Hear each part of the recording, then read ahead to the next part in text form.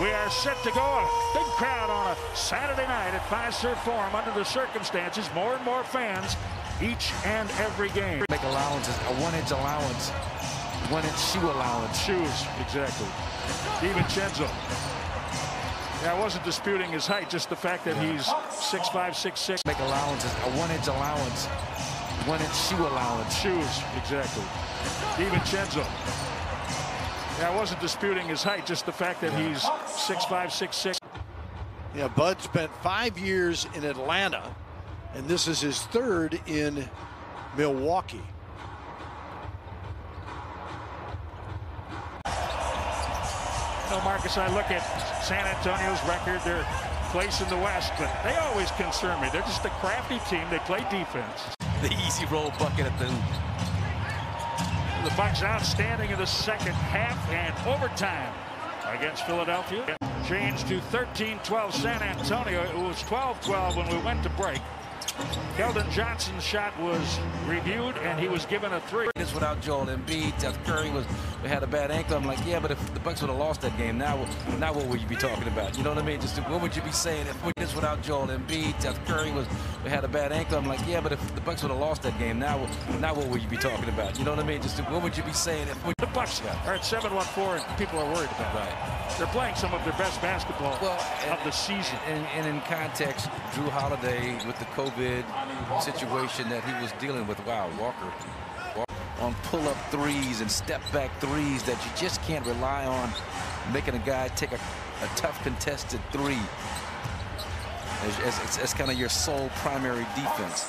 Man-to-man, -man, the zoning back again just as a rhythm breaker. But here, here, here the Bucks are again.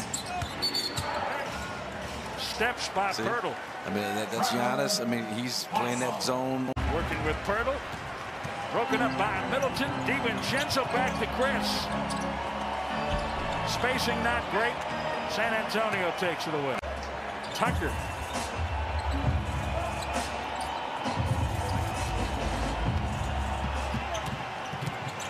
Look at look at Popovich. He goes into a 2-3 zone on his own. Turnabout's fair play.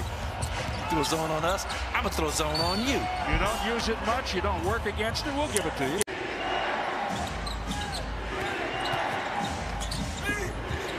Poeltl drives to score.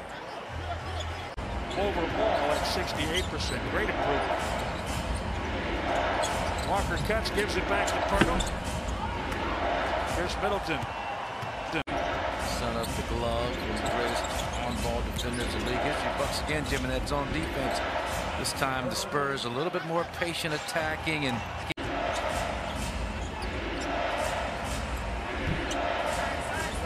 the Bucks stay with it. DiVincenzo ultimately controlling. Middleton wanted to dunk against Poeltl. Seat of his pants. San Antonio playing five on four.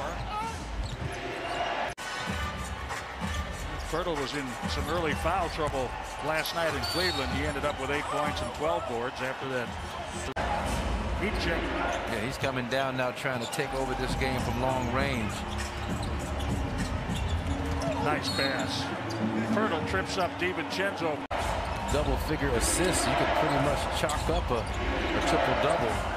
He's got about five more rebounds to get in order to achieve that goal tonight. But first things first, you better play better defense because this Spur team, man, they're not going away. In that scenario, probably 75% of those shots. Well, that, the restricted area, he's just under 80%. Yeah, I say so. That's my point.